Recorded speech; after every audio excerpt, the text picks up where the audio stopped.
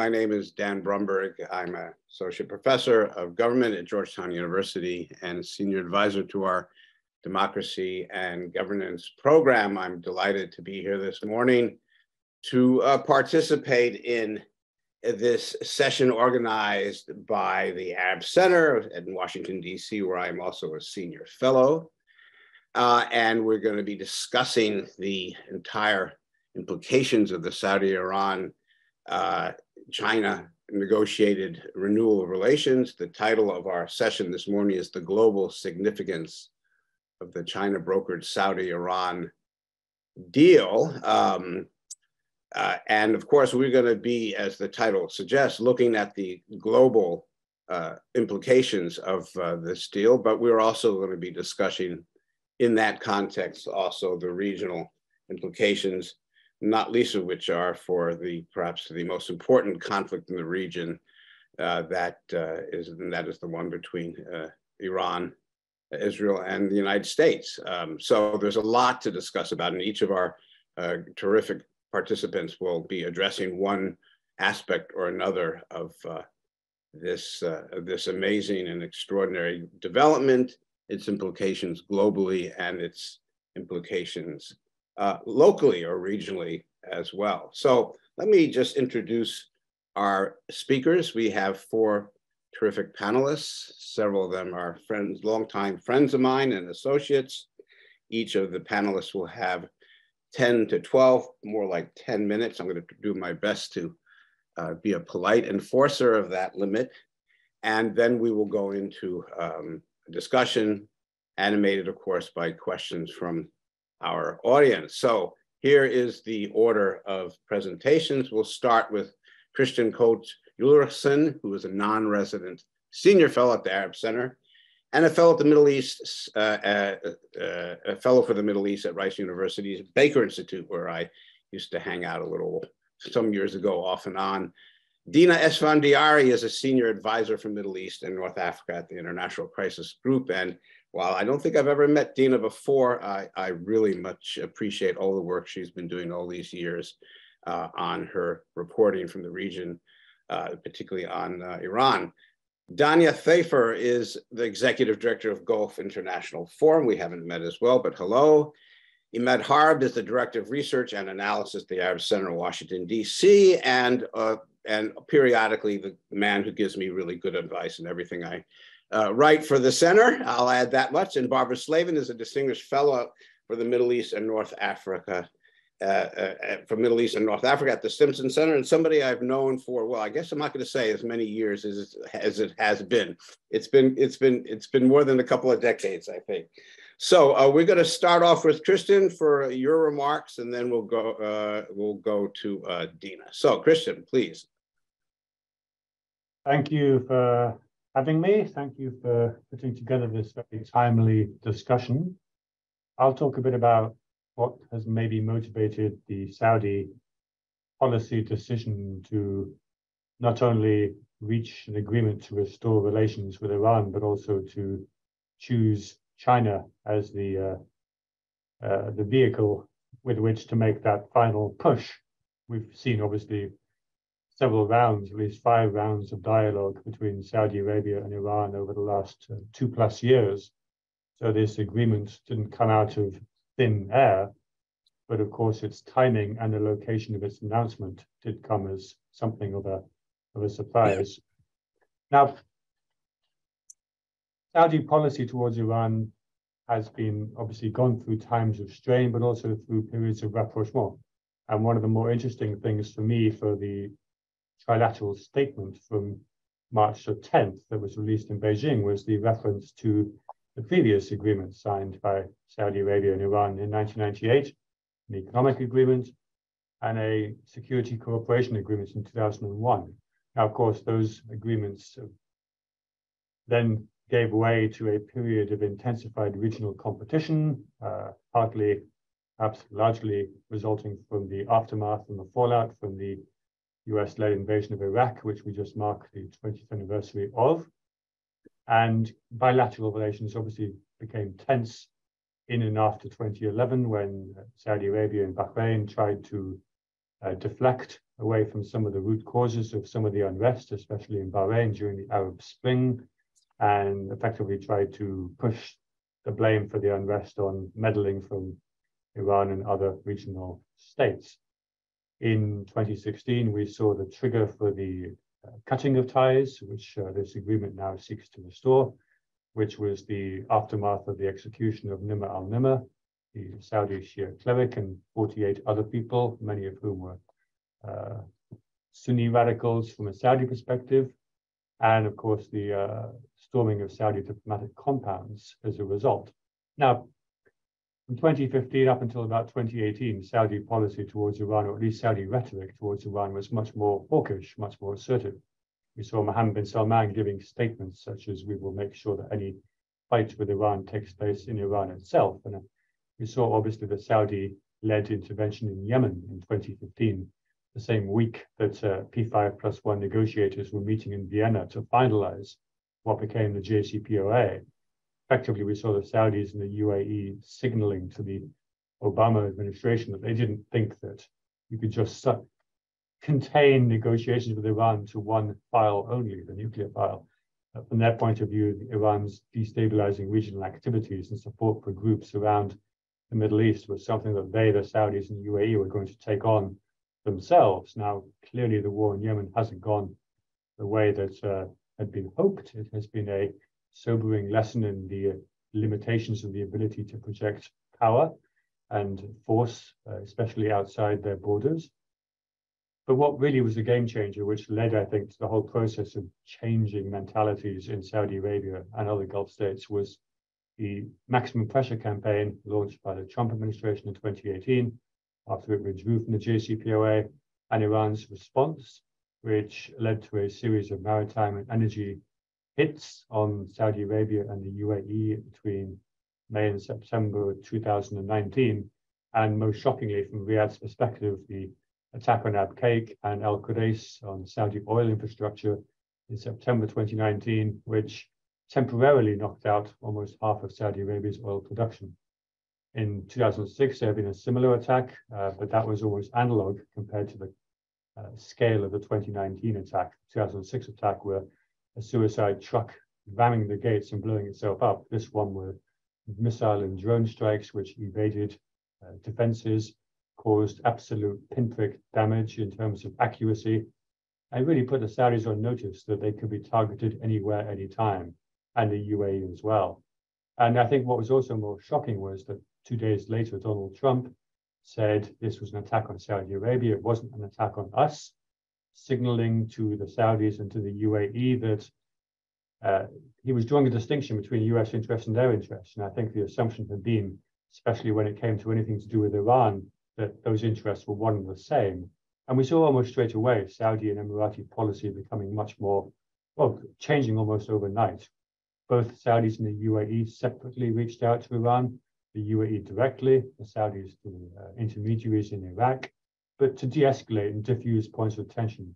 Now they no longer had or felt confident about full US support and backing no matter what. And this was fully, fully evident in 2020 in January when Qasem Soleimani was killed, when uh, the Saudis even sent Khalid bin Salman, the Deputy Defense Minister, to Washington to make the case in person to the Trump administration for de-escalation. Because you saw the Saudis suddenly realizing perhaps that they had to adopt a set of policies that reflected their own interests rather than their interests with the US supporting them regardless.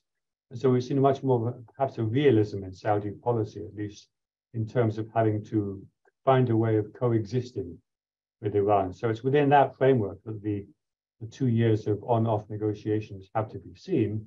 And of course, the decision now to, uh, to come to the agreement.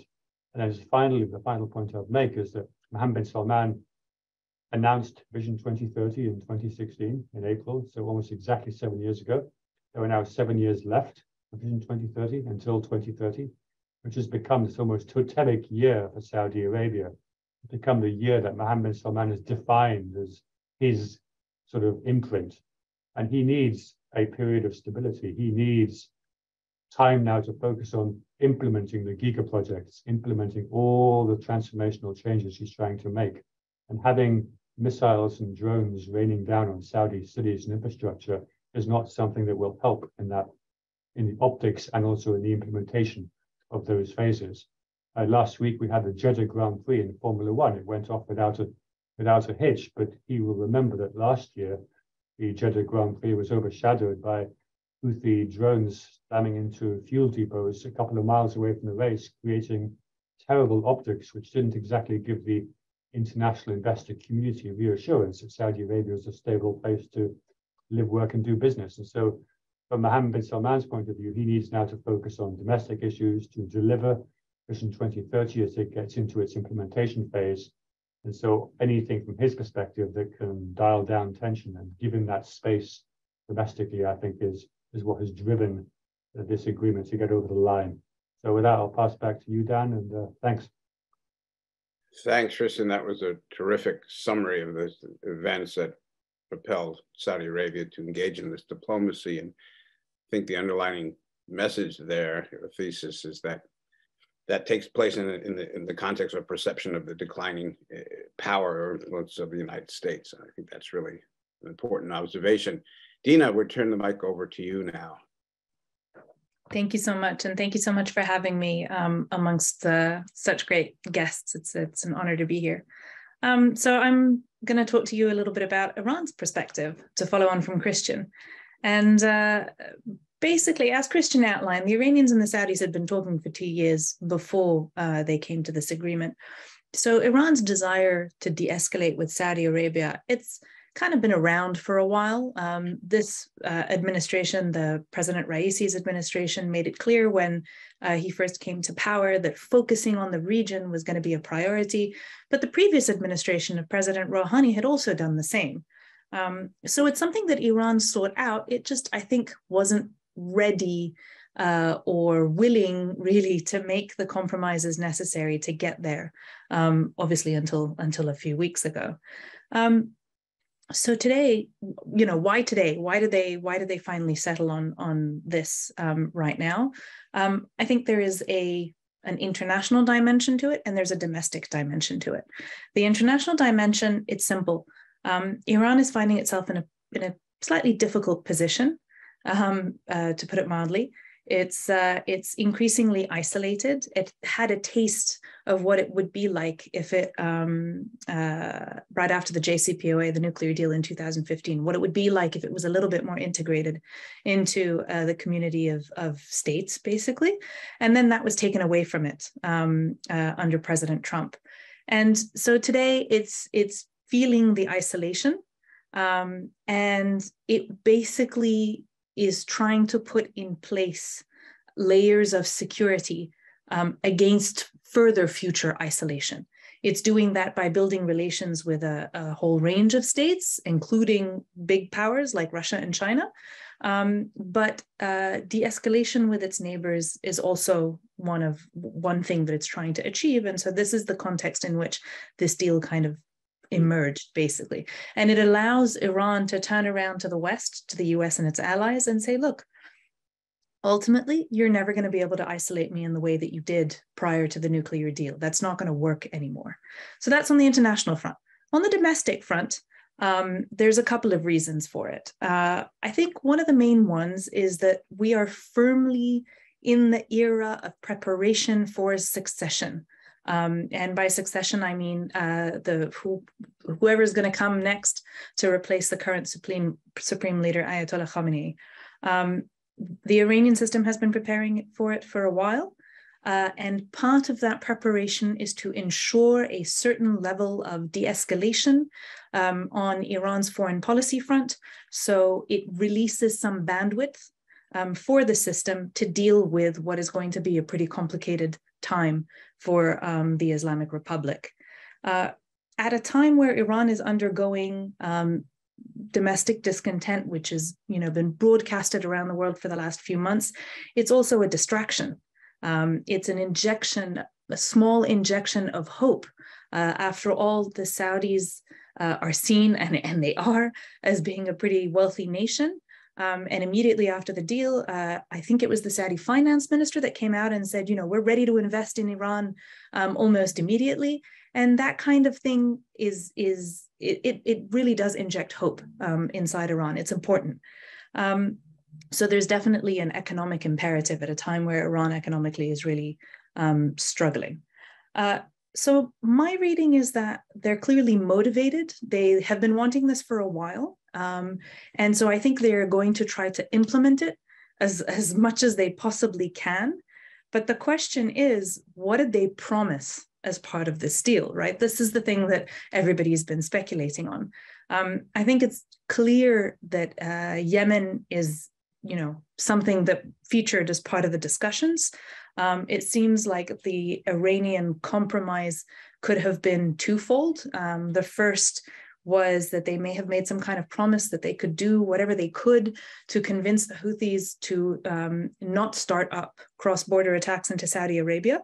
Um, that poses a problem in, in itself because we all know that Iranian control over the Houthis is not complete. So an Iranian promise to do what it can is, is just that. It will do what it can, but that doesn't mean that the Houthis are going to listen. The second thing that we've been hearing is that Iran may have promised to cease um, weapons transfers to the Houthis.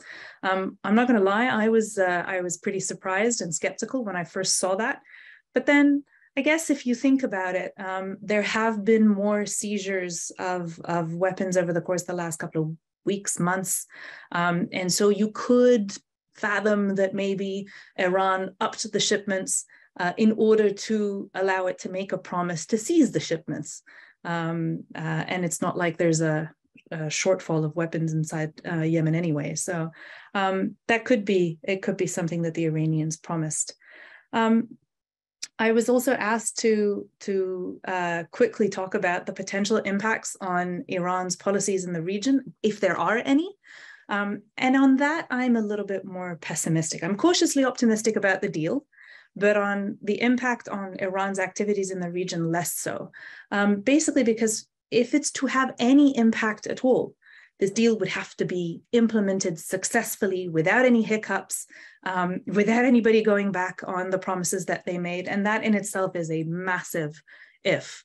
Um, and then you're talking about areas. So, for example, Lebanon, key security concern for Iran, Hezbollah, the jewel in the Iranian crown.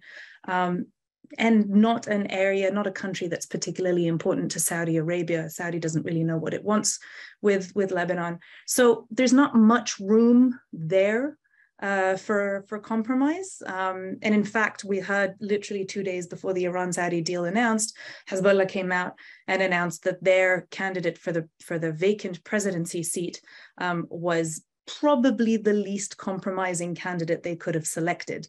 So um, you know, kind of shows that it's not exactly um, they're not they're not really willing to make any any compromises there. Syria, you know, you could argue this deal will help normalization between Assad and the Saudis. But to be fair, normalization between the Gulf Arab states and, and Assad was happening way before this deal was announced anyway. So maybe the deal will help, um, but it's definitely not what prompted it. Um, so I think that broadly, there is scope for Iran and Saudi Arabia to increase their communication, to diminish their tensions in the region if this deal is implemented properly. But it really remains to be seen what kind of impact that will have on the ground in the areas that both countries are involved in. I'll stop there. Well, thanks very much. That was very helpful, and it certainly underlines the, I think, the perception of Iran's leaders that they not if they're not in the driver's seat, they're in, certainly in a strong position. So that has implications for their willingness to uh, to uh, to uh, make uh, concessions on many fronts. Uh, we are now going to turn uh, to Dania for her remarks. Thank you very much. You have the the floor, the mic. thank you, Daniel, for having me and cute cat back there. Thank you very um, much. She appreciates it.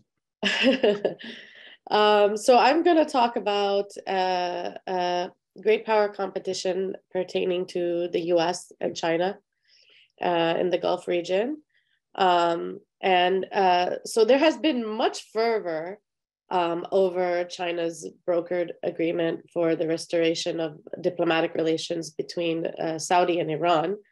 Um, and it has been framed um, on many accounts as part of an upset of geopolitical realignment of the Middle East. Um, and indeed, the international system is evolving and multipolarity is a reality, but it does not mean uh, that the fundamentals of US Saudi relations are changed. Uh, the reestablishment of diplomatic ties doesn't make uh, Iran and Saudi Arabia suddenly friends, and nor does it make China eclipse uh, the US's role in the region. Uh, I mean, Riyadh and Tehran, they still have clashing interests across the Middle East. Um, and Dina, she, she even talks about like broader um, opportunities of de-escalation, and I could agree with her perspectives also. And um, and I don't think the agreement has really addressed thus far key areas of divergence. Um, and we're kind of in this wait and see moment. Um, so don't get me wrong, it has potential to reap great benefit uh, for de-escalation, but hasn't yet proven it. Um, and um, now when it comes to hedging versus realignment, I think nuance is very important. Um, in some analyses, I've noticed that there has been a conflation of hedging and shifting uh, alliances. Certainly, Saudi Arabia and other GCC states have been looking eastward um, and increasing relations with China. But still, when it comes to great power competition, uh, the security architecture of the GCC states is still uh, highly dependent on the US. Um, so, in the in the current uh, multipolar international system, uh, especially after the onset of the Ukraine war, uh, there has been more room for Saudi Arabia and the GCC states to maneuver through strategic hedging. But that does not necessarily mean realignment has occurred. However, uh, the rise of multipolarity has not affected all areas equally. This is especially the case when it comes to regional security. Now, the fact that the Gulf is the backbone of the US security architecture in the Middle East, and the US will really remain the primary security guarantor for years to come. Uh, I mean, there's a still an extensive basing structure there with permanent architectures. In Saudi Arabia, there's still over 2,500 US military personnel. Um, it is true, for example, uh, that Bi- the Biden administration has ended its support for the Saudi uh, led coalition's offensive uh, military uh, operations against the Houthis, but the US still continues to provide defensive support. And the supposed like decrease of the US role uh, has been a really like a strategy for quite some time. One salient trend that stands out when reviewing the changes in US priorities as it pertains to the Gulf um, when you look at the national military strategy or the national security strategy or the national defense strategy, is that the US approach has been really similar over the last decade. Um, since the early 2000s, under Obama, under Trump, uh, under President Biden, the US's policy has been to invest in more resources, more sustainable resource approaches to security in the Gulf. Um, there has been a push for states to work for the US to work with states in partnership through agreements, joint force enablers, training, and advising. Um, and so, um, and this approach is actually called by the generals here in the US as the by, with, and through approach, and it's been in, in, in talks for quite a while. Um, so, and I would argue that the US's deep rooted influence in the Gulf remains quite strong. Um, I mean, it's evident even when we see leadership changes in Washington. We saw how um, a change from Trump to Biden has really uh, caused like a, good amount of repositioning of, of, of, of, of regional actors. Granted, the Arab Spring era kind of ended, and the global pandemic also were major factors in shifting um, the geopolitics of the Gulf. However, I mean, the switch went from zero sum maximalist geopolitics to a general mood of de escalation. De-escalation, and this happened shortly after Biden took office. Um, so it does show that policy choices of the U.S., whether to act or not to act, um, has a great influence on the strategic calculus of Saudi Arabia and the GCC states. It's worthwhile to note that um, the Biden administration reignited the fears in Riyadh and in other GCC capitals as well that yet another Obama doctrine was underway. Another round of the JCPOA talks that does not consider the grievances of GCC states appeared looming just uh, recently, I guess. Um, and in the context, Saudi Arabia would have diminished uh, negotiation leverage with Iran to establish uh, relations after a G- JCPOA agreement. So now that the JCPOA talks pretty much failed, um, it was really the most opportune time for Saudi Arabia to enter into a negotiated agreement with Iran because Iran is currently sanctioned and pushed into a corner. Whereas if the JCPOA was reinstated, then, then Saudi Arabia would have had less leverage with a more emboldened Iran. Um, and I would argue that the US also wins from uh, Saudi Iranian detente um, Saudi having diplomatic relations with Iran does not really conflict with US interest. Sure, we can concede um, that it does hurt the US ego a little, the way it was brokered through China. But the Biden administration has really praised the dialogue. And in fact, when you look at read the national security strategy, a pillar of, of US policy in the region is de escalation and integration in the Middle East. And we all know Saudi Iran tensions is a bottleneck issue for de-escalation um, in the Middle East. Um, and it just seems like it, it does fit into squarely into US policy interests, um, although it does does bruise the US ego. Um, uh, uh, so still, I believe that China remains, now in reference to China, it may, remains uh, vital for strategic he- hedging. China is a crucial part of Saudi Arabia's overall strategic hedging. Beijing is vital economic partner. Everyone knows um, that there's strong financial, economic, and I, I guess you could call some political interdependencies between both nations. It is well known fact that um, China is dependent on energy, and um, and uh, as uh, Kristian noted, that uh, that uh, Mohammed bin Salman is eager to successfully achieve his 20 30 vision.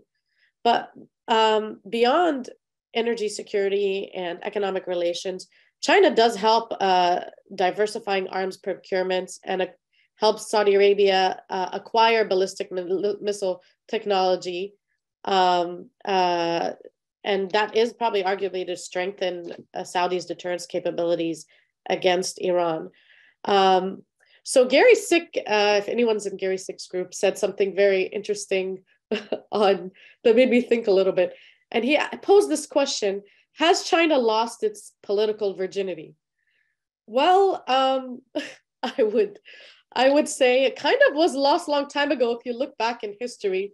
Um, during the 1950s and 1960s, China sought, um, as an ally of the Soviet Union, to confront the capitalist camp of the Western world while simultaneously seeking to draw allies into the socialist camp. And during this time, China supported the Popular Front for the liberation of occupied Arabian Gulf, which was a Marxist movement that was supported by Yemen and focused on Oman. And China's attempt to export its it was shows that China attempted to export its ideology in the Gulf. So the mediation now coming back to the current events, the mediation role appears to be really and from my perspective, a gift from Saudi Arabia to China. It fits precisely into China's South-South policy, you know, pan-Asian policy, and its economic interest to secure, secure access to fossil fuels. You know, de- de-escalation means less disruptions in fossil fuels and less price volatility. volatility. I don't know if I said that. Um, it is a symbolic uh, snub at the US at a minimal political cost. And so the question remains as to whether Sino Gulf relations will evolve into more concrete strategic relations or really merely emphasize on commercial relations. Will China reemerge as a political player in the Gulf? And I say reemerge. Um, and to what extent? When or if China crosses that threshold, um, we have to see if it's willing to assert itself and forcefully engage in moments of high tensions rather than ones of convenience during periods of regional reconciliation. That's when we should be concerned about it eclipsing the US strategic presence in the Gulf. Thank you. Thank you, Dania. I think you put your finger on a number of really important issues, not least of which is the fact that everybody's hedging, every, including China, of course, and uh, also that uh, the, the wider China's role becomes in the region or any other region, the more complex the contradictions are for China. And I might say something about that in, in a minute or two as well. We are going to turn now to uh, my comrade Imad, but before we do so, I'm going to remind everybody that you could submit questions at events at arabcenterdc.org, and I'll be paying attention to those questions as they come in. Again, events at arabcenterdc.org. Uh, Imad, you're next.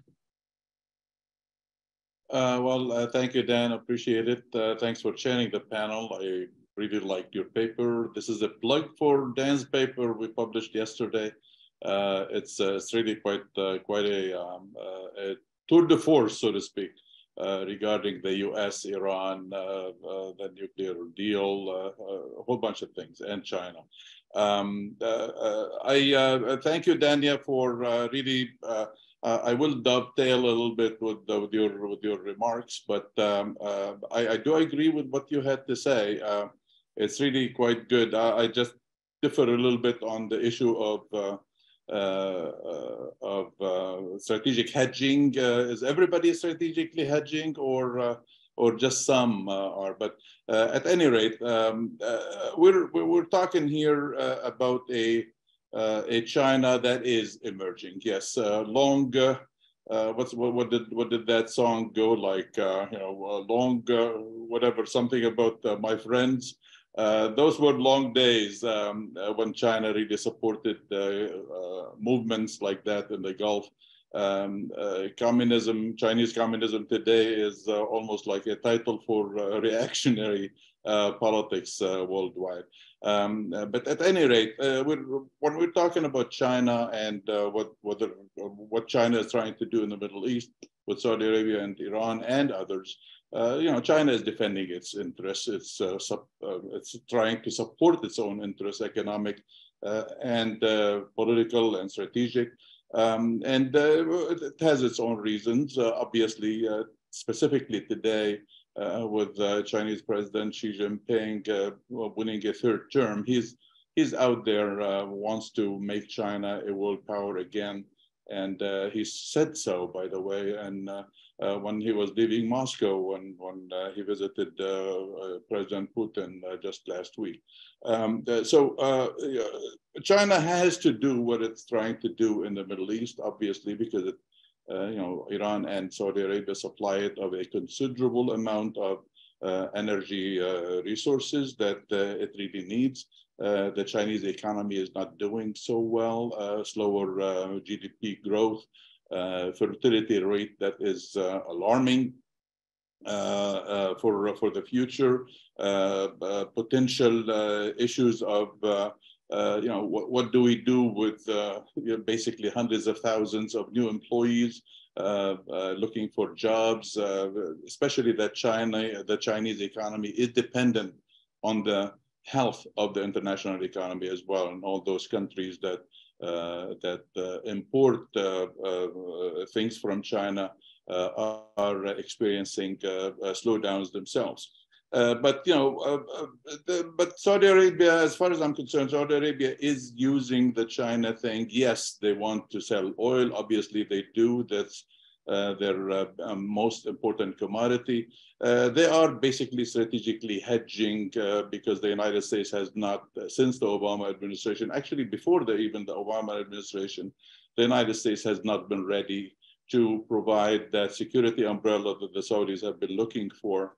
Uh, so they think that maybe we can, uh, you know, go elsewhere although I really doubt that China is ready to provide that strategy, that uh, that security uh, umbrella that the uh, Saudis are looking for.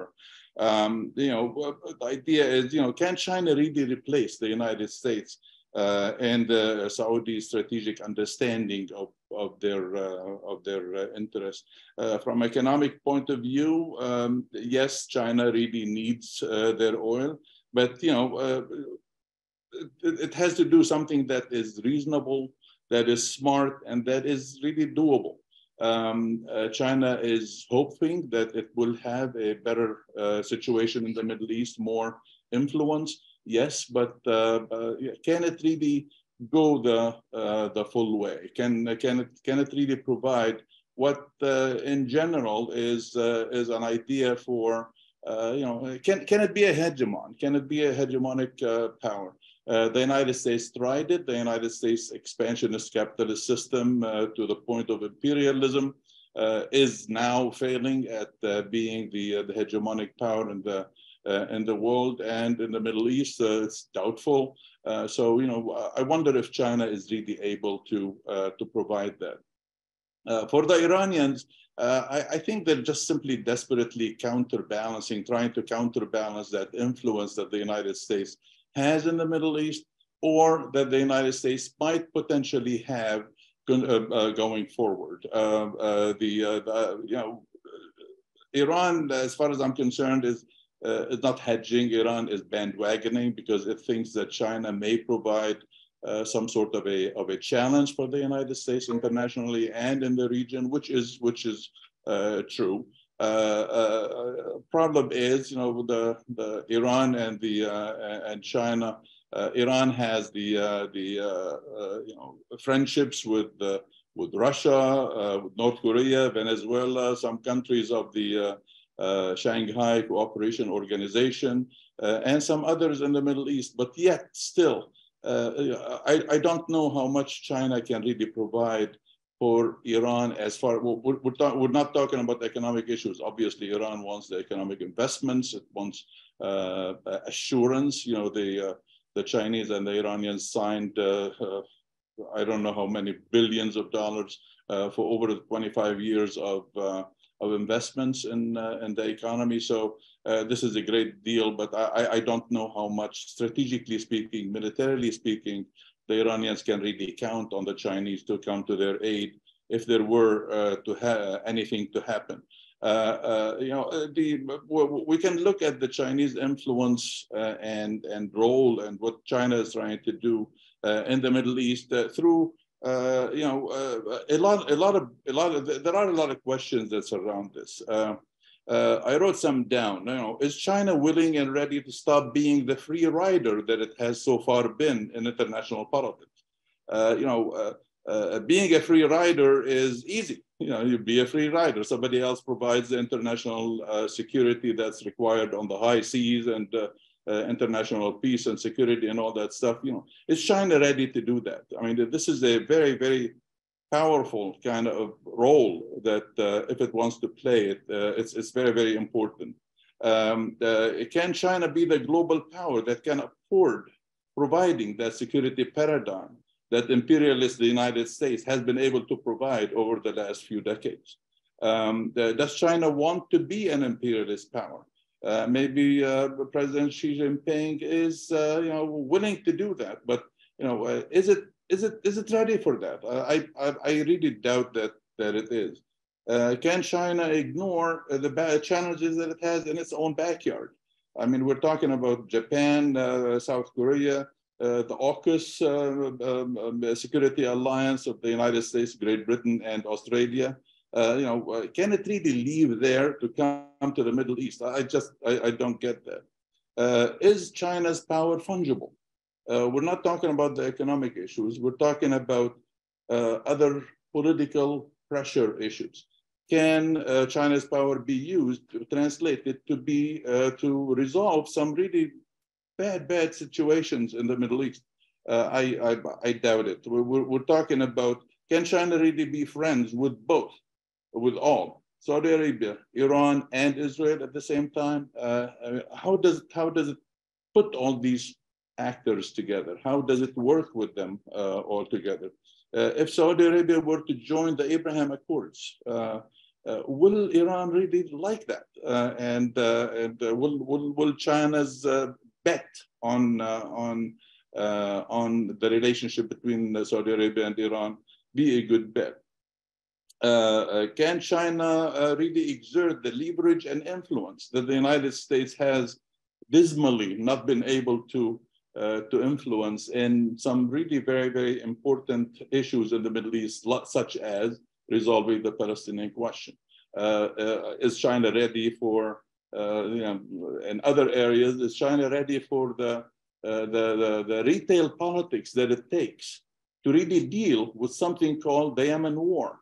or the the the, the Syrian uh, war. Uh, it's it's uh, or or you know the the little small details of Lebanese politics. Uh, so uh, you know, uh, as Dan put in his in his paper, and I plug it again. It's very good paper. Getting embarrassing there. Can China really translate? Can China do what it did with Iran and Saudi Arabia? Can it do it for Iran's nuclear power, uh, nuclear uh, uh, uh, program. In other words, can it really produce on the stalled negotiations over the nuclear program today? So these are these are very very important questions that that you know uh, are extremely important for China's role. Uh, this is obviously not to discount the importance of what China has done between Iran and Saudi Arabia. It's very welcome. It's really quite good, and uh, the region needs it. But uh, I, I, really don't see it being uh, much more than just simply an agreement between two neighbors who, have, who, who are supposed to be uh, good neighbors after all. Thank you. Thanks, Imad. Great questions, by the way. What you call imperialism, the Chinese call anti-hegemonic. That's the term they prefer to use, by the way. so, but I do recall, I think it was years ago, I was visiting the, uh, the new Israeli foreign uh, ministry in uh, Jerusalem. And I think somebody told me that the Chinese had actually built the entire structure. So they're heavily invested in the region and they're certainly heavily invested in Haifa, right? And you know, so they have this, this extraordinary, you know, projection of economic power and I think what you're saying is that the, the, the heavy wears the crown, right? The, the more powerful they become, the more these contradictions sort of, or potential contradictions come out. So it's quite, it's quite interesting. All right, Barbara, you're next, and you're going to be our last speaker, but I'm sure you have much to say, and there is still much to be said, by the way. So we're looking forward to hearing from you, and then questions are already coming in, so uh, keep them coming, and then we'll move into a discussion. Go ahead, Barbara. Uh, all right, Dan, thank you so much. It's a pleasure to be with all of you. Thanks to the Arab Center. Um, what is left to talk about? Everybody has covered so much, but um, look, I think that, that the economic aspects of China's relationship relationships with all of these countries is really crucial, and that China has been amassing massive soft power while the United States has been uh, making a number of mistakes in the region that I think have turned a lot of countries off. Um, it was in about 2010 that China became Iran's main trading partner. This was during the first bout of multilateral sanctions against Iran because of its nuclear program. And China supplanted the European Union as Iran's main uh, trading partner. Um, a decade after that, uh, Iran, uh, sorry, China became the main trading partner for the GCC. Uh, we have fossil fuel producers who are shoring up ties with their biggest importer at a time when the rest of the world is certainly trying to wean itself off oil and gas. Um, and so this may be a kind of temporary phenomenon, but for the next couple of decades, China is going to be buying most of the oil that's coming out of the Persian Gulf. And so this is kind of natural that China would step into a kind of mediating role uh, in addition to its economic role. I think we also have to look at the, uh, the impact of uh, economic sanctions on, on Iran, certainly, but on other countries, um, and a desire on the part of Middle Eastern countries to build uh, stronger relations with China, which has shown that it's willing to, to bust sanctions, to buy Iranian oil, even though uh, there are secondary sanctions on it since the US withdrew from the JCPOA. Um, we also have to remember that China has an agenda. Uh, Xi Jinping has made it very clear that he is looking to take Taiwan at some point, which means that China may join the so called coalition of the sanctioned with Iran and with Russia. And I'm looking to see whether these agreements that are being brokered are going to have another aspect to them. And, and that is the question of uh, de dollarization. Will we begin to see more and more countries uh, selling oil and getting yuan in return? Uh, the Saudis have not gone that far, but they have hinted at it at various times. Um, that, of course, would be an enormous blow to the United States and would be an enormous blow to the role of the dollar in terms of the international uh, economy. Um, so, so far, no, but it's certainly something that I think we have to we have to watch. Um, what else will the the Chinese do in terms of mediation? Uh, you know, the Russians actually have now uh, picked up the slack on the mediation between the Saudis and the Syrians. Uh, in case anyone hadn't noticed, there were talks in Moscow. And of course, it was mentioned that this trend of rehabilitation of the Assad regime predates this agreement between, uh, between Iran and Saudi Arabia, but it's part of a sense that um, uh, this look east strategy on the part of Iran, on the part of other countries, also includes Russia. Uh, just yesterday, of course, the Saudis announced that they were going to join, I believe, the uh, Shanghai Cooperation Organization. So um, you can call it, I think, as, as Dania did, hedging and not yet realignment. But something is shifting in the Middle East. There is a kind of uh, a kind of turn and you know, where there is economic power, where there are economic relationships, other relationships may may follow. Um, so I think that this is a serious moment for uh, for U.S. policy. It's it's more than just uh, egg on the face of the United States um, when it comes to watching, you know, a rival superpower broker an agreement uh, there are trend lines here that that should be concerning, frankly. Um, I would advocate that it means the United States has to rethink its approaches, particularly toward the use of, of economic sanctions, which I think are backfiring more and more.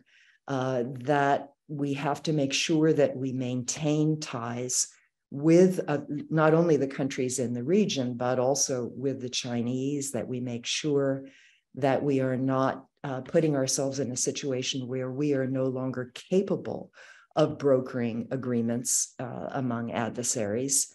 Um, you know, I don't know if you've noticed, but uh, at Davos and also at the Munich Security Conference, um, the Russians weren't there, the Iranians weren't there. What are we doing in the West in terms of limiting our own ability now uh, to moderate and mediate between adversaries uh, in various conflicts. Um, bears watching. So um, I think those are the major points that I that I wanted to to raise. Um, I would also point out a very nice piece that we have up today on the uh, by Giorgio Cafiero. Many of you know him on the Syria uh, rehabilitation and on the Russian role in bringing the Saudis and the Syrians back together. Um, you know, Russia and China are showing that that they can walk and chew gum at the same time.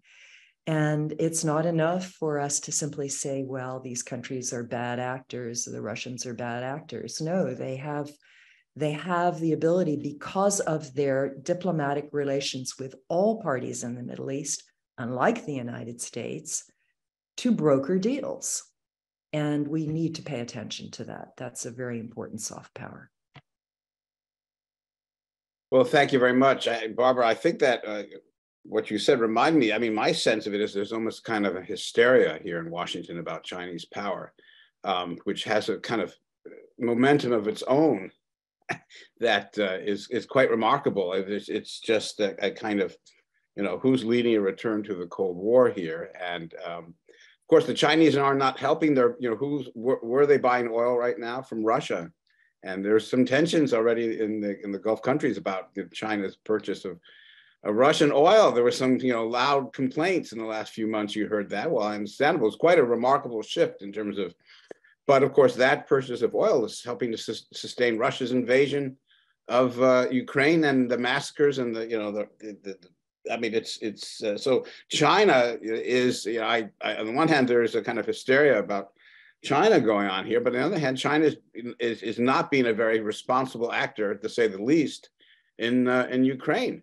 And um, this is a country whose whose whose leading premise in the international community is the sovereignty of nations and the rejection of the use of force, uh, which is uh, which the Chinese leaders are always talking about. Yet in the case of Ukraine, they are funding the Russian war, and there is some concern now that they may be supplying uh, uh, drones. So um, it, here it is. These are the deep contradictions between uh, China's sort of impulse to be this anti-hegemonic power standing up to the United States, projecting power and so on, on the one hand, uh, and being part of an alliance of global autocracies on the one hand, and then the equally important impulse to invest globally in the international political economy and and and be a, be a, a, source of investment in Israel and the Gulf and everywhere else, and the Belt and Road Initiative, all this. So there's there's these two very dramatic sort of contending impulses uh, in, it reminds me of what Kissinger used to say about Iran, which is, you know, is Iran going to be a cause or it's going to be, an, is it going to be a state? I mean, you could say that about a lot of countries, right, including the United States, I suppose. But this sort of tension in China's foreign policy is, is quite, quite remarkable. And China, China's number one leader, as it were, um, seems to be much more erring on the side of sort of repeating his ideological premises and talking about creating steel walls with the Chinese military and all the rest of it. So uh, that doesn't help move away from a Cold War perspective, does it? And that feeds the perception here in the United States that that's where we're heading. And so the, dyna- the dynamic between these two players, and then you think about the implications for Taiwan. So it, it's very disconcerting. Um, so, uh, and you know, I think you know Barbara, you, you, put it right, and a number of others uh, said so, Nimad, is that what, what will China do about sort of now the JCPOA is finished, right? It looks pretty dead. I mean, we constantly we're getting ready to bury it, and then there's, but it looks pretty much now that the coffin is being, you know, prepared. And what's the alternative? And what does Iran do? I mean, look, Iran is 84, 85% uh, enrichment right now. I mean, they're talking about the enriched uranium and being enough for maybe two or three bombs. Um, you know, this is this is a this is a dynamic that is moving along in the context of of um, China's effort to sort of push regional peacemaking. And as Imad said, where does you know, where's this big? Here's the elephant in the room. You know, where's this going? And does China have the capacity at all to affect any of these dynamics? I mean, I think it's a an enormously important uh, a, question that's going to come up uh, uh, very soon and, and, uh, and in ways perhaps that will not be, uh, could be quite dangerous. So I just, I, I, you know, put that out there because we're, we're, we're talking about, um, and given particularly what's going on in Israel, the political struggles, the rise of the extreme, extreme, extreme right, or whatever you want to call it, this the Abraham Accords, where are they going? Well, of course, the, the UAE is looking at what's going on in Israel and asking some important questions about this new government. So I think, you know, it's, um, you know, the regional architecture uh, uh, of peace or whatever we want to call it is, is, is far from firm. And I think China will get sucked into that question as we go along. So that's just, you know, my, uh, my perspective. Um, so I've got, there are a lot of great questions here let's start with the the, the first one, which is um, how and any anybody who wishes to you know jump into this, uh, please do. How do uh, how do you how do we evaluate the reaction of the public in the region uh, to the Chinese deal, both about the deal and the role of China? That applies as much, of course, to to Iran as it does to, and there's been a, quite a lively discussion in Iran about sort of relations with Russia and China that, that's still ongoing. Um, you know, we forget how how open these discussions often are. These debates. There's, I bet there's a similar discussion in the Gulf region, and of course in Israel, if they, if if folks are not completely absorbed with the ongoing political struggles there. This issue, certainly the Israelis were quite shocked and dismayed because they felt, well, what's what does this mean for our accords? So anybody who wants to jump into that and provide us sort of a perspective, Dina, maybe you want to say something about sort of where you know how do the how do the you know of course the Iranian public is not monolithic, nor is even the elite. So any any insights on that would be welcome. Sure, happy to. Um, I think broadly, um, and this is not just applicable for Iran, but I would argue, um, maybe putting Israel aside, the rest of the, the region, or certainly the Gulf region, I think broadly the reaction has been pretty positive, both um, uh, vis-a-vis the deal itself, the, the potential for reconciliation, and actually, interestingly, um, vis-a-vis China's involvement in the deal. Um, in Iran, uh, I mean, Iran's sus suspicions of China and of Russia, um, they're long-standing. They've they've been around for ages. Uh, one of the reasons Iran uh, pursued the JCPOA to begin with was because it didn't want to be bound to Russia and China. It wanted to open up to the West.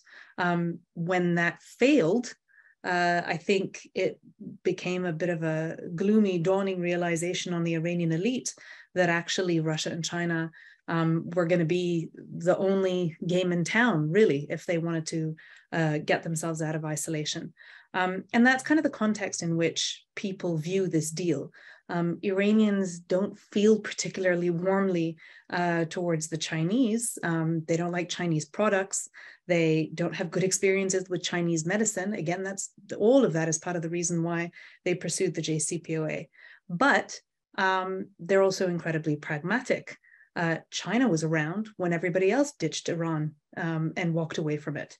Uh, and that uh, today is, is pretty important. Um, and actually, the same could be said for, for Russia, which is why you're saying the, the rapid rapprochement with, with uh, Moscow as well. Um, so I think where they would have been very suspicious, very wary of Chinese involvement before, I think some of that has uh, dampened a little bit recently. Um, and in terms of de-escalation with the Saudis, again, I think they broadly welcome it.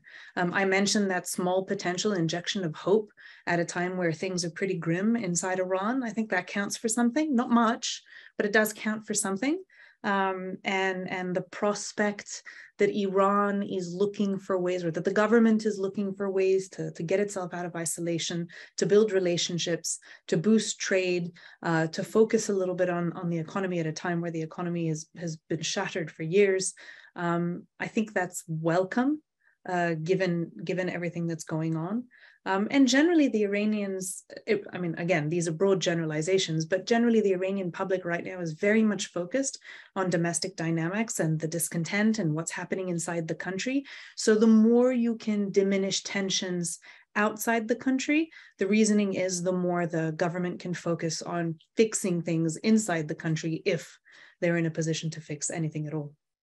Great, thank, thank you very much. It's, um, I mean, I recall that the Iranian president had uh, said quite loudly uh, their disappointment thus far with China's investments and so on, and that was articulated before. So that's against that background of that very loud and direct complaint. But now there's an opportunity, perhaps, for both sides to pursue this. So that's just. And Kristian, do you want to say something about sort of Gulf perceptions, elite, popular about this uh, about this development, either in Saudi or be, you know beyond wherever?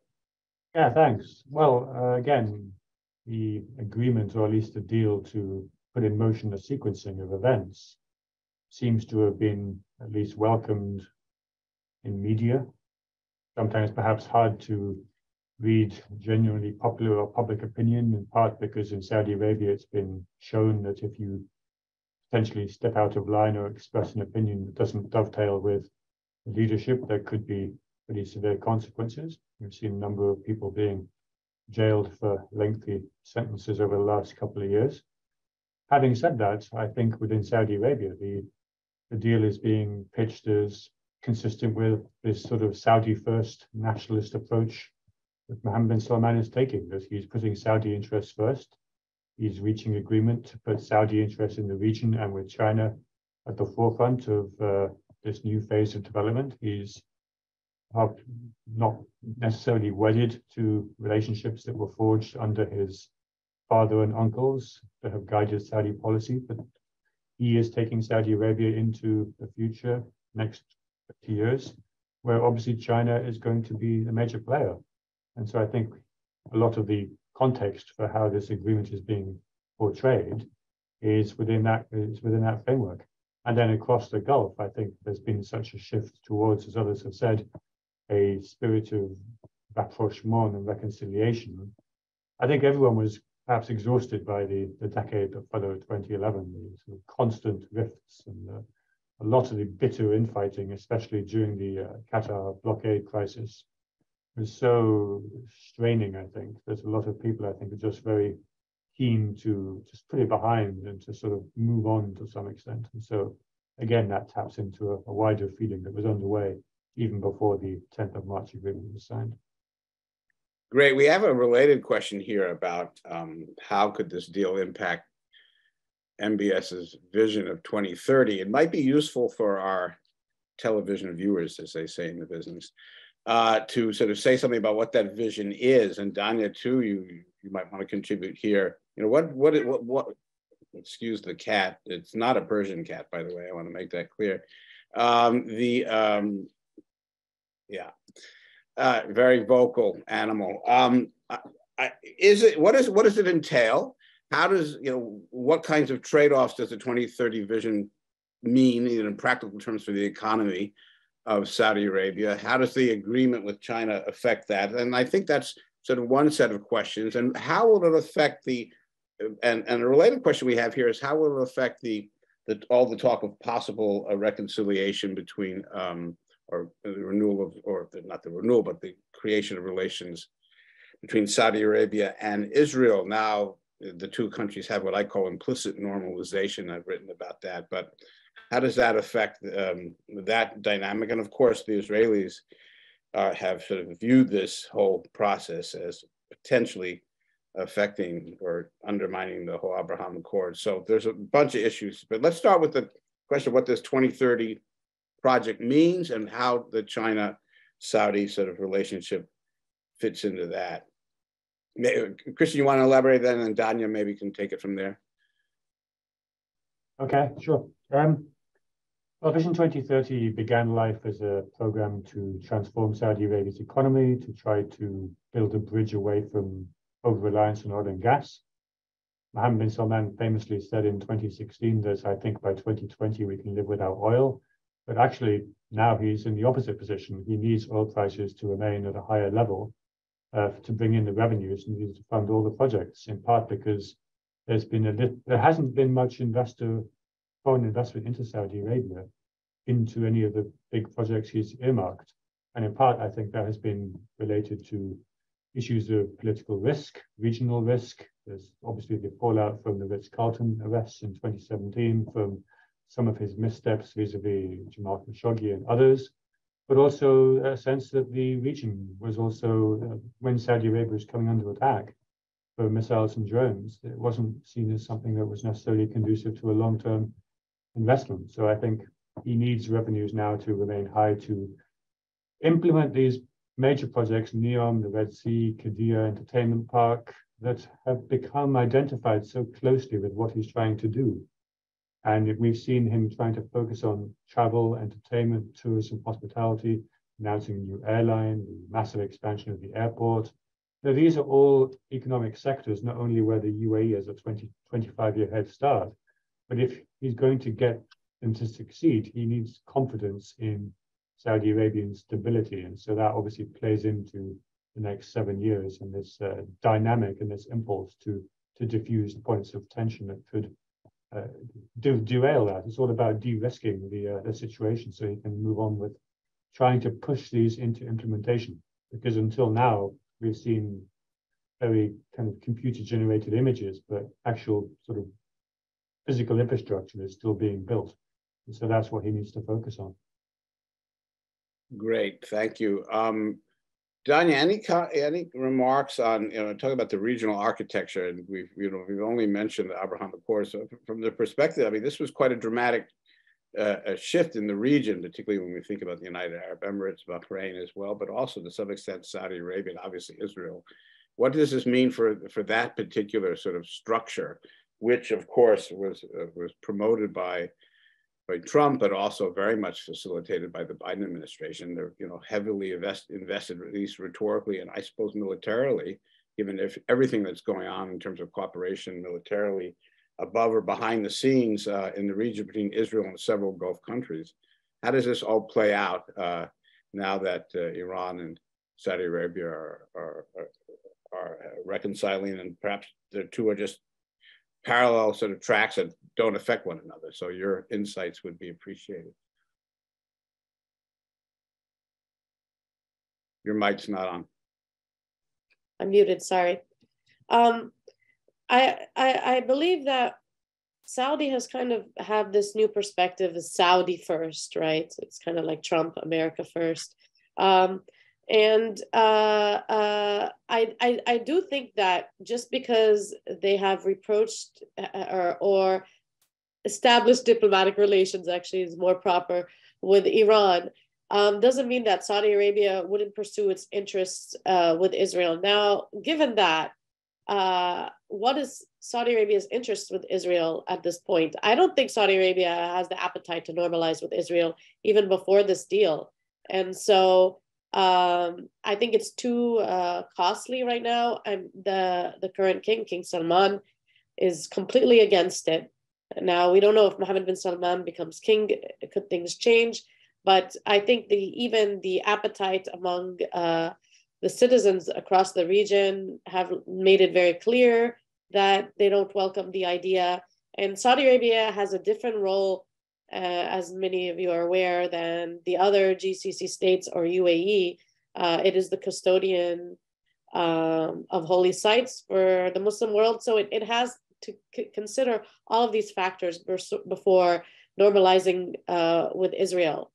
Um, could it uh, adversely affect uh, possible normalization if even that's a stretch that's even an option um, uh, maybe it changes uh, Saudi's calculus not seeing Iran as a full-blown threat, but I still think that Saudi Arabia sees Iran as a threat. So um, I don't think Saudi Arabia will do anything to go into Iran's corner if if that's what people are uh, and or analysts or experts or pundits have been saying that, oh, okay, now Saudi's in Iran's corner. No, I think that certainly the tensions are still there. We still haven't seen the results of the deal and haven't seen um, really if if both sides are going to stick to their agreements uh, on this deal. And so I think it's too preliminary to say, but I generally don't think that normalization is going to happen.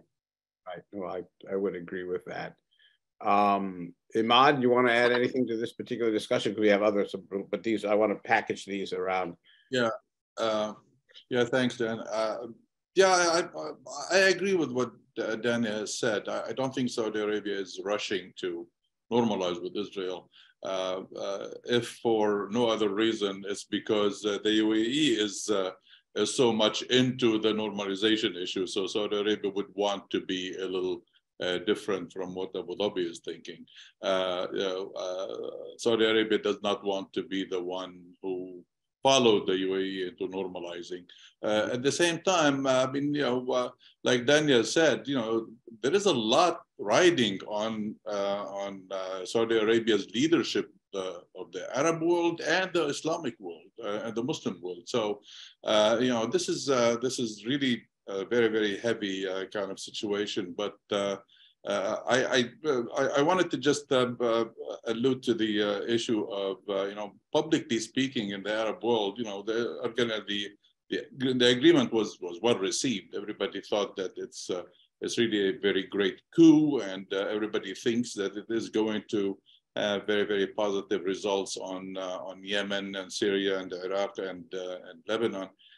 Uh, and uh, the, the, issue is, you know, how do the states, how do the governments deal with uh, with this?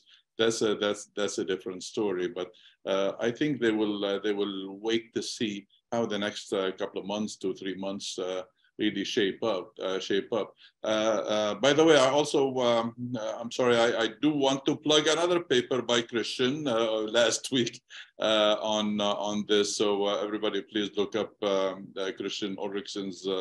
Uh, article on uh, on the organization, uh, on the agreement and its impact on the GCC states on our website. Thanks, Dan.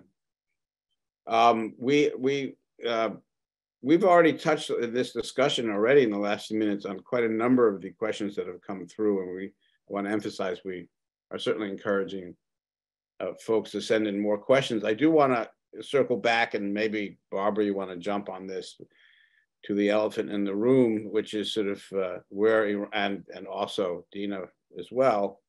Uh, first of all, where I mean now that with uh, with the JCPOA pretty much out of the picture, although he, we still see interesting signals from the Iranians occasionally that they would that if they can resuscitate it, they under certain conditions they would. But the Iranian positions on have been pretty firm and pretty difficult to negotiate, right? When they demand an immediate ceasing of unilateral ceasing of sanctions, a position, by the way, that the Chinese have supported, that's really a, a, a no-go in terms of the, the, the, the ability of the Biden administration to respond for reasons both strategic and domestic, right? Um, but um, now we have uh, the, stand, the continued standoff between the International Atomic Agency and Iran, uh, which for a while we thought, well, maybe there was an opening to sort of resolve it, and there were talks uh, in, that regard, and then that's and this is just a few weeks ago, right? And yet we the reports, which seem pretty, you know, pretty convincing of what Iran has achieved in terms of its enrichment, are, are quite extraordinary. Um, and what Iran started out as a kind of the experts will tell us that Iran's enrichment program was directed as a, as a form of leverage, right? Uh, in the in the context of trying to renegotiate or resuscitate or whatever the JCPOA, and that by increasing enrichment, they were increasing their leverage and signaling the West and so on. But now they've reached a point where the perception of the enrichment program, maybe in Iran, but certainly abroad, is that it's not, it's no longer about leverage. And that once you get up to 85, 88% enrichment, well, by God, you know, let's, what's the next step? Let's experiment with elements of weaponization. We know that weaponization is a big word, covers a lot of issues. It's it doesn't happen overnight and involves a lot of steps, not least of which is testing. And the Israelis are not going to sit there and watch this evolve and just not react, right? uh, particularly if it looks serious, and the Israelis uh, uh, uh, see it as serious. And I, I, mentioned in the paper that I wrote for the Arab Center that when uh, uh, when Grossi said when he was visiting, I believe it was Tehran, he said, you know, we, we reject the use of force; it's illegal. And the Israeli Bibi said, well, excuse me, this is, you know, we do not accept this statement, uh, and the, you know the Israelis don't perhaps have the means to unilaterally attack Iran and, and, and do permanent damage to its nuclear capacity, but nevertheless, it's it's it's it's a potentially volatile situation. So, could you talk, Barbara, a little bit? Anybody else can jump into this, Dina, as well, about a sort of where this stands and you know, does does the China, Iran, Saudi thing just go on without having any impact? Does China step up? I mean, this is not something that this is not a situation that is that the regional actors are going to ignore. Um, and any, you know, we just had the re re recent dust up in, in eastern Syria, uh, and that was pretty significant, right? And Biden, you know, got in there, and it, it, so any any mis miscalculation, any could could suddenly turn a, a local dust up into something much bigger, right? Uh, even if the parties don't necessarily want it. So, you know, what what happens with all this? Uh, what will the Biden administration do? How does it view the China role at, at all relevant? Will China use its leverage to press the Iranians? Will they perhaps establish themselves or try to sell themselves as a mediator, which that would be interesting. So yeah, so any any comments on this? Uh, the elephant still sitting in the room. Let's start with Barbara on this. All right. Well, thank you. If I mean, yeah, easy questions. Oh, um, oh, sure. Yeah, simple. uh, a couple of thoughts. First of all, the Chinese have not been active players in efforts to revive the JCPOA any more than they were active in negotiating the JCPOA to begin with. Um, uh, we had an event a couple of weeks ago at the Stimson Center, and um, Kelsey Davenport of the Arms Control Association, I asked her whether China might now, you know, step in and try to do something useful on the nuclear front. And she said, look, if they were going to do something, they would have done it a long time ago. So I would not count on the Chinese uh, reviving the JCPOA. I think the JCPOA is dead. And we're in a situation now where there are efforts to patch together something else that might stabilize the situation and prevent the kind of dire uh, situation that you described. Um, one good factor, I think, is that given this emphasis on regional de escalation and so on, for the Iranians now to do something really provocative on the nuclear front would clearly upset its effort to reconcile uh, with with the Saudis. Uh, and as Dina pointed out, I mean, the Iranians want to to tamp down the tension for a while. Uh, I will point out there was a there was a brief uh, bump in the value of the Iranian currency after the um, agreement was announced, uh, the reconciliation agreement with the Saudis, but that has already disappeared and the rial is once again, you know, sinking like a stone. So if the Iranians were to do something really provocative on the nuclear front, I mean, the currency, the bottom would completely fall out of it. And already inflation is at 60%, I think I saw recently. Um, so it's in Iran's interest to sort of tamp this down. If we want to be hopeful, we could see a release of, a, of American hostages, three dual nationals. There, there are very advanced negotiations underway to try to get these people freed that involves some unfreezing of Iranian assets uh, to be spent on humanitarian goods. There was a hope this would happen before the Persian New Year. It didn't, but there are still talks underway.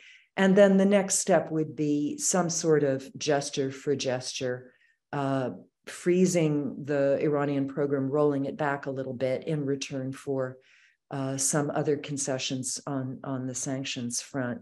You mentioned Iran enriching to 84%. They did, but they didn't accumulate any uh, uranium at that level. The concern is about a large quantity of uranium enriched to 60% and another large quantity enriched to 20%. Taken together, Iran could make four nuclear weapons out of this stuff in fairly short order. So that's a concern. The other concern is monitoring by the IAEA. Can you increase transparency?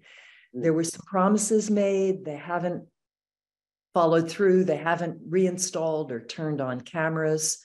Uh, but they have, I believe, increased the uh, number of visits to an underground site called Fordo. Um, so some limited steps, but if they increase transparency, that would also go a long way to uh, calming calming folks down at least a little bit. The last thing the Biden administration or anybody wants is a nuclear crisis with Iran when we've got all this other stuff going on with Ukraine uh, and so forth. Um, it's not in anyone's interest. So uh, hopefully we will not have a full blown uh, crisis there. What we have in Syria is a continuation frankly, of this so called shadow war that's been going on between Israel and Iran and the US sometimes, um, you know, for years. Uh, and it, it doesn't get attention unless an American is killed, and an American contractor was killed recently. Thanks. It's uh, you said enough enriched for four. I read three. Um, that's you know that's quite a. I mean that's quite a development in and of itself. Only because if you have enough for one, that doesn't really give you much of a potential for a program. you need much more robust production in order to have anything that looks like a, a serious uh, nuclear program that uh, gives them uh, what the experts call second strike capacity. So that's of course why the Israelis follow very closely how much is being produced and how much can be weaponized. And so, yeah, I think that the, you know the I think all the key players have no interest and letting this, the region sort of fall into a, uh, or escalate into war, and that's Israel as well. But nevertheless, it's quite a development. Do you want to say anything, Dina, about sort of where, particularly, I'm, I'm wondering about sort of because for the Iranians, given the economic situation, and there's a there's an app, there's a big debate in Iran, but also here in the Iranian expat community in the United States about so that where sanctions should go and what sanctions do and how effective and all the rest of it. But clearly, the Iranian economic situation, which Barbara just described, is not unrelated to the sanctions issue, and the and the Iranians would benefit, uh, and that's where the IAE and a, and a kind of less for less agreement comes in, because what what some of the ideas were for sort of limited release of sanctions and so on. Um, and uh, that was floated in the last few you know weeks or months. That suddenly sort of seemed to not be working out. But the Iranians certainly could would would welcome this, some sort of relief on sanctions. So where what's going on in Iran in terms of and then that and that may or may not have any bearing on the China question, as you know, as was said, they were not involved in JCPOA. Although the Chinese keep saying we can play a constructive role now with the International Atomic Energy Committee. Uh, uh, so, is is that in any way, these things in any way tied, in your view? Um, just quickly to, to follow up on what Barbara was saying, I completely agree with everything that she outlined. Um, I would just highlight though that that you know sitting in the West, we have a tendency to to focus really on the nuclear issue and with good reason. Um, but I think when you're sitting in the region, um, obviously Israel notwithstanding, um, it's a really different picture. Uh, and I think from, from China's perspective, it's a different picture as well. Um, I think countries in the region, their focus is on what Iran is doing conventionally in the region. They've suffered from that uh, for the last 30, 40 years. Um, and they feel the brunt of that on a daily basis. They don't really feel the brunt of a potentially nuclear uh, Iran um, at the moment. Uh, what they feel is, you know, the threat of Iranian missiles, the threat of Iranian proxies, and I think that's what the region is trying to address with this new kind of two-pronged approach to, to dealing with Iran of containment on the one hand, which they've always tried to do, but they've now supplemented that with a, a, a measure of engagement of Iran, um, which is a, is a perfectly logical policy for what they're trying to achieve, I, I think. Um, so really, their focus is much less the nuclear issue, much more um, what's happening in the region. And, and I think you could probably say the same uh, for a country like China, who's getting involved in, in um, brokering these deals. Um, on sanctions, um, look, you can't, nobody will sit here and argue and say sanctions has had no impact on Iran. Of course, they've had a significant impact on Iran. It's also important to highlight that the Iranian government itself um, did a wonderful job of uh, of uh, ruining the Iranian economy and mismanaging it, um, even without uh, Western unilateral and multilateral sanctions. So um, sanctions made it worse for sure, um, but they did not. Uh, they weren't the cause. Put it that way. They weren't the only cause of um, the the current economic situation in Iran. Um, I uh, am a big believer in in the this idea of adding on successive rounds of sanctions i don't think is is getting us anywhere. Uh, iran has been sanctioned for the last 40 years. Um, and as far as i can see and i'd love to be proved wrong um, it hasn't changed iranian behavior in any way at all. Um, the only times iran's behavior changed was when it was in iran's interest to change its behavior. And it was often when you know you had a you had a carrot or something that was that was thrown in along with a little bit of pressure that that that changed Iranian behavior. Um, otherwise, it it hasn't been successful. So this idea of increasing sanctions on Iran, this idea that's very prominent amongst the Iranian diaspora and opposition outside the country, um, very prominent to squeeze Iran, isolate Iran, sanction it further, and that will help the movement. Um, I that really makes my head explode. I don't see how that helps the movement. You've already sanctioned Iran up to here. Um, like I said, it hasn't changed Iranian behavior. All it's done is it's it's made the Iranian people suffer. It's giving it's making it harder for them to access um, medicine and food. Uh, and I'm not quite sure how further cutting off their access to these things um, is going to make the movement uh, any more successful than it has been over the last six months. The other thing to add is that also it's well known that that sanctions end up benefiting those uh, that are the strongest in a country. And so if you're trying to target the Revolutionary Guards in Iran, um, through targeted sanctions um, it doesn't it doesn't work really well because you end up targeting small and medium sized businesses that go out of business because they can't afford to do business in, a, in an environment where sanctions raise the cost of, uh, of staying um, in business and, and, and functioning.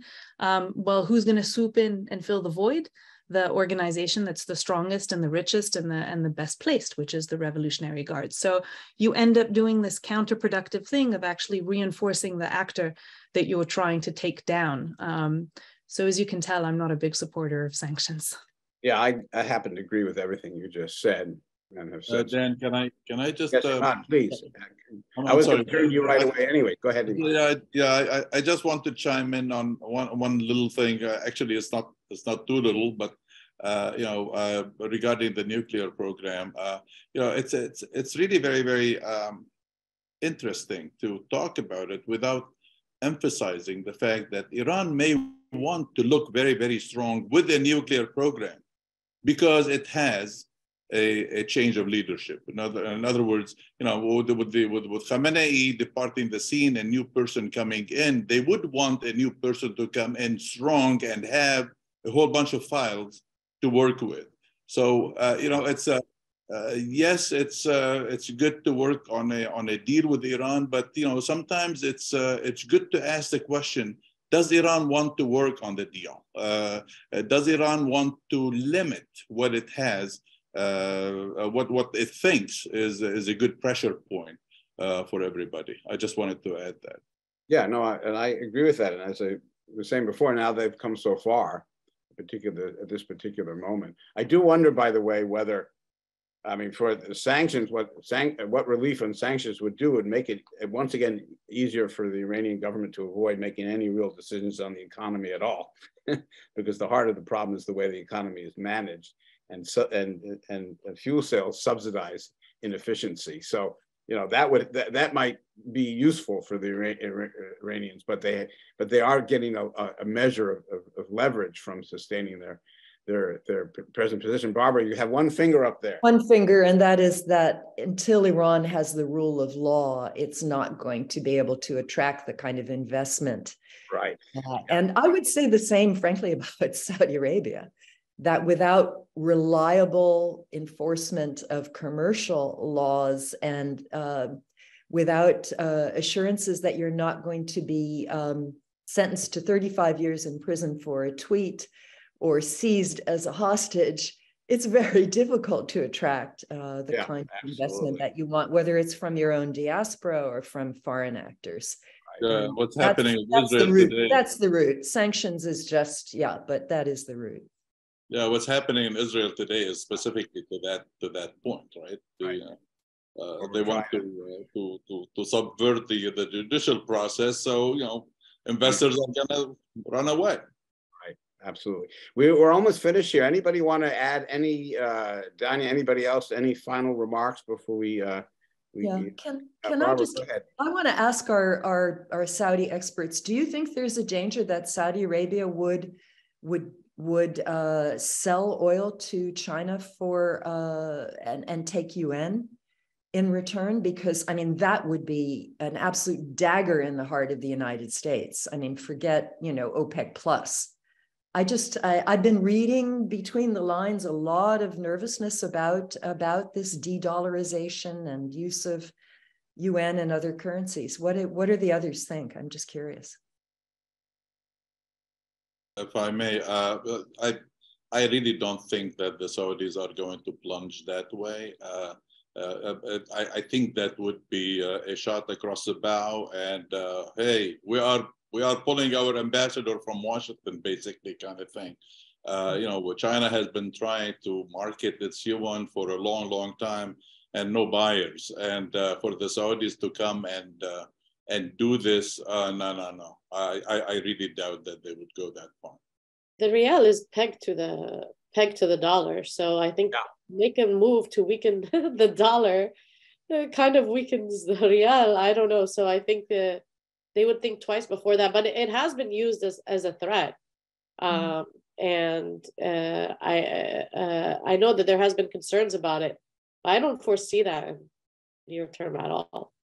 I'll just pick up on what exactly what Daniel just said. It's uh, you know, it's in Saudi's interest maybe to float it as an idea from time to time to keep people guessing, to to have it hanging over you as a potential. If you don't play ball, we'll do this. But I, I'd be like you, Matt. I'd be very surprised. But certainly as a sort of thing to have out there as an option, should we not like something you may do. That's uh, where its value lies.